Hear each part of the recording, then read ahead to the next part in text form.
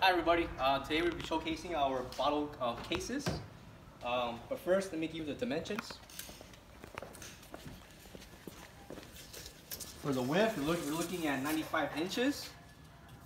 Okay. And for the height, we're looking at 38 inches. Now these do come on caster wheels, okay? So removal of these wheels will be 36 inches in height, okay?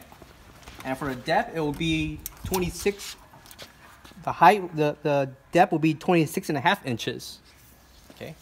Now three features these cases come with. First feature, okay, are the bottle cork openers. So putting the bottle here, uncork it, and the cap will come off. One side, second side, okay?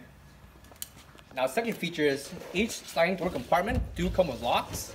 As you can see here, the keys open and lock the, the door. So sliding and open. Okay.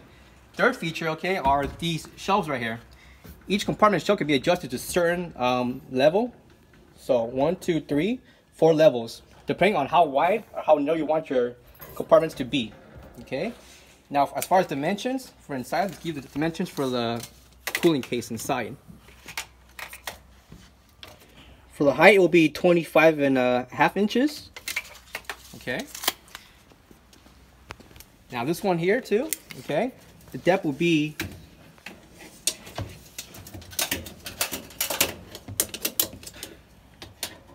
looking at around 23 inches for depth, okay?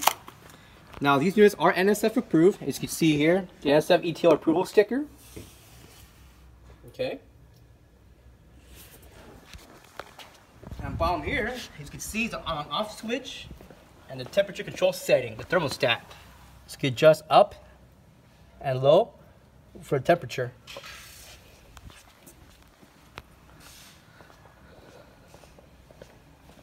Coming back here, connections, okay, these are 110 connections, just plug it in and you're good to go.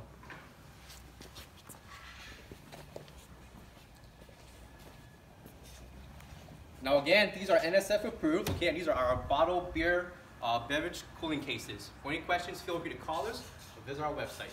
Thank you.